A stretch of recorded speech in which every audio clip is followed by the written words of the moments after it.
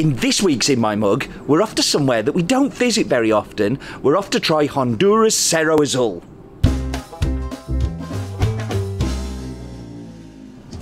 Hello and welcome. It's fantastic to have you here again. And as I said at the very beginning, we're actually off to somewhere where we don't go to very often. We're off to Honduras to try um, a coffee called Cerro Azul. Now, why don't we buy a lot of Honduras coffee? Well, Honduran coffee is absolutely delicious. It has a fantastic profile, and it's a profile that I love. The biggest problem that we have is that uh, Honduras coffee tends to not hold very well, so it ages very quickly. Well, why does it age very quickly, Steve?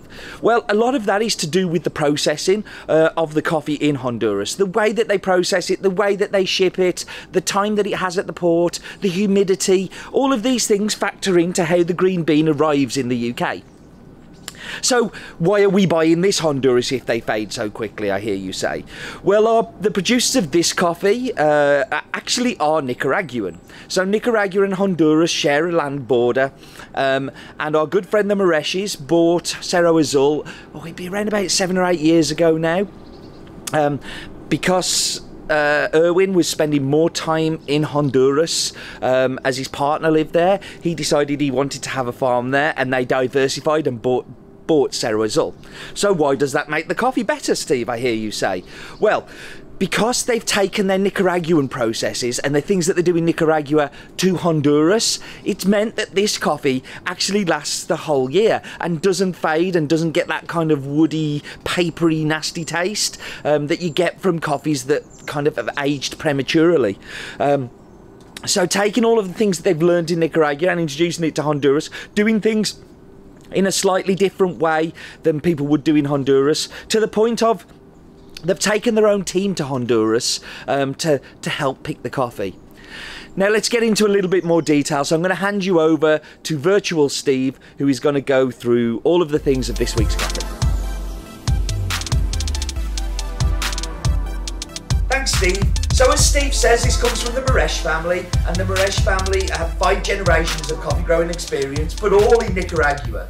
Um, this is the first project that they've ever done into Honduras, and it really is a complete family affair. With Erwin initially buying the farm, with Eleane now managing the farm, and uh, Miss Dr. Mierisch, the uh, head of the family, regularly visiting and being part of it. But also the whole team, as Steve said, actually comes from Nicaragua that manage the farm, so they can take the great uh, skills and experiences they have of growing coffee and introduce it into Honduras growing. Now, this farm has been recognised internationally by Cup of Excellence. It actually won a couple of years ago in the Cup of Excellence competition.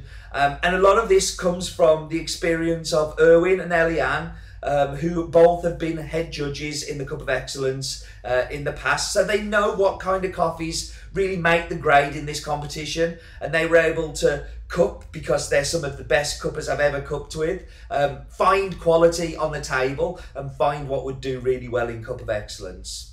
So they started this project in 2011 and uh, it's in the uh, uh, region of the National Park Azul Meámbar, which is in the Siguatepeque, uh, Comayagua uh, in Honduras. Uh, excuse my pronunciation to anybody from Honduras, I've just managed to kill that. Um, and um, is by the lake El Seto, uh, very near to Santa Barbara. The farm lies on the other side of the lake of Lake Yojoa and is blessed with an amazing microclimate and conditions that are just unique to this farm. It has rolling fog in the mornings, um, it has very cool temperatures that take quite a while to build up. Um, actually very similar to the conditions that they're used to in Nicaragua, which is, I guess, why they were super excited and drawn to this farm. Um, the soil is just so rich in organic matter. Um, the farm was actually abandoned before and um, they really had to work hard to pull it back. But the bonus of that parts of the farm abandoned is that the soil is full of nutrition uh, and full of goodness for the uh, for the coffee plants growing. So let's look at it. It's in Honduras. It's in the department of Comayagua, uh, in the municipality of Siguatepeque.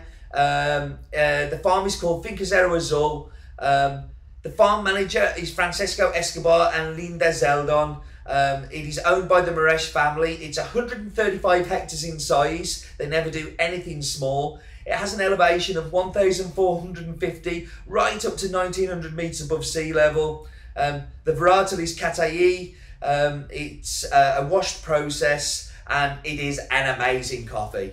So why don't we zoom to Steve to do the tasting and see what he thinks of it. Thank you, Virtual Steve. Um, as you may tell, I'm back in Sweden now uh, for a few weeks until I go back to the UK. Uh, but was so cool to spend some time um, in the roastery and with the team, and uh, really just to let you all know they're doing super well. They're doing great there. Um, fantastic kind of coped through all of these very difficult times as everybody else has but uh, been doing an awesome job in getting coffee out to you.